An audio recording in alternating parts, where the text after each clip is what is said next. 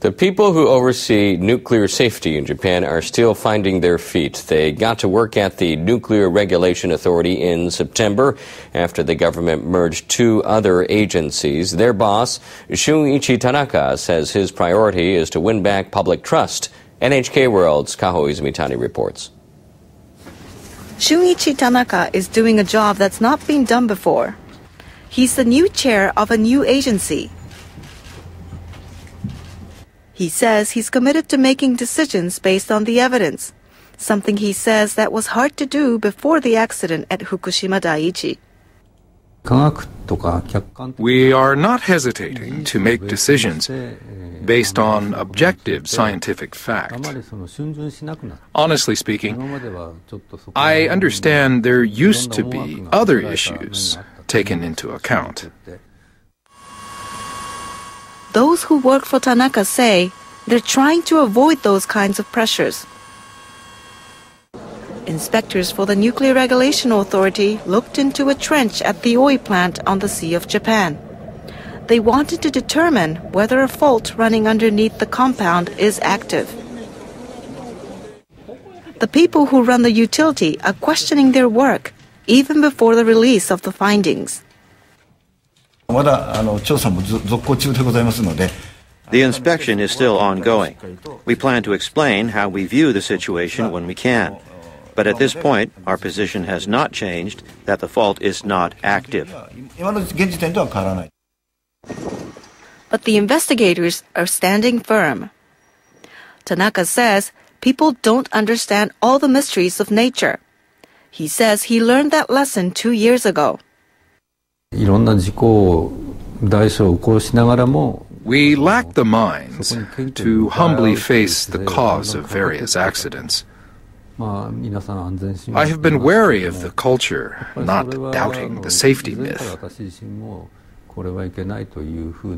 The accident at Fukushima provided a good opportunity to change that. Japanese Prime Minister Shinzo Abe has suggested his government may consider reintroducing more nuclear power and even allowing for the construction of new facilities.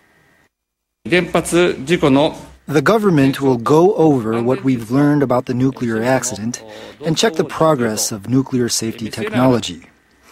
I'd like to carefully consider whether new plants can be built. It will take a certain amount of time. Tanaka says he and his staff need to work without interference.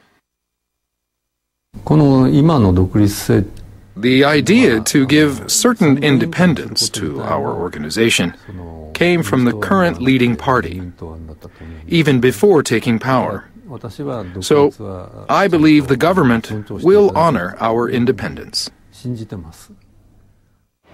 The investigators that looked at the Oi plant had hoped to release their findings this month but they need more time.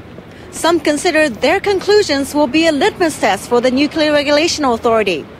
People want to know whether the regulators are doing their jobs or acting as a rubber stamp for the government. Kaho Izumitani, NHK World, Tokyo.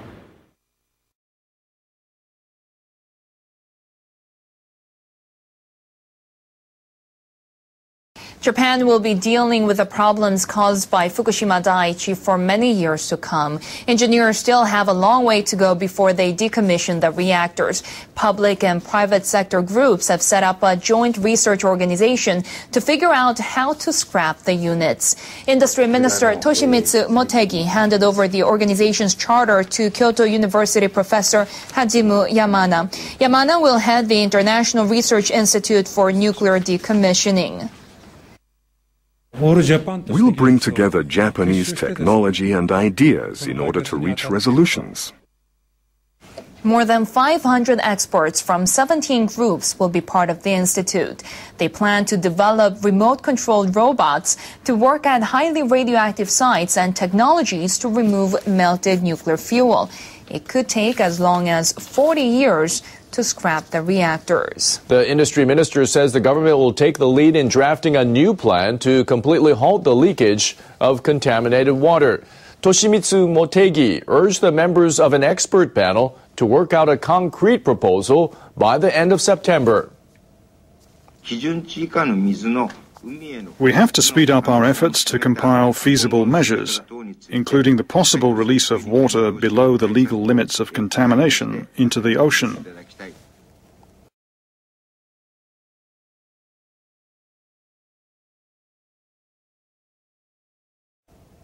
Motegi called for a study on how to pump out groundwater from the mountainside of the reactor buildings and other sites. He also suggested creating underground walls to stop the water from reaching the ocean. In May, TEPCO officials announced a similar plan to release groundwater into the sea before it gets into the plant's compounds.